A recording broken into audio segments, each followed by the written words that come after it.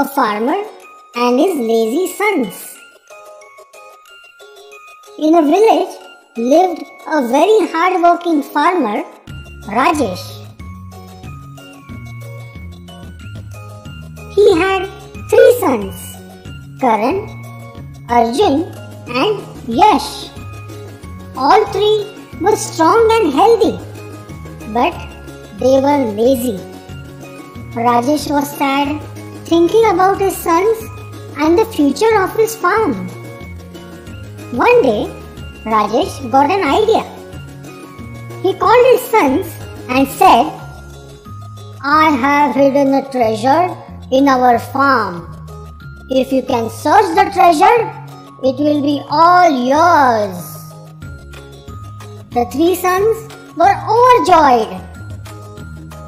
The next day, they went to the fields and started searching. Karan started from one end. Arjun searched from the other end. And Yash did so from the center. They dug each and every inch of the field, but they could not find anything. Rajesh said to his sons, Dear boys, now you have tooled and conditioned the field. Why not we sow a crop?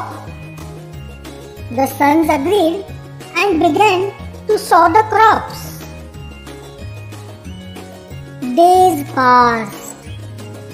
Soon the crops grew lushly green. Rajesh and his three sons were delighted. Rajesh said to his sons, This is the real treasure I wanted you to have. That day onwards, Karan, Arjun, and Yash started working hard and were never lazy. Moral Fruits of hard work are always sweet.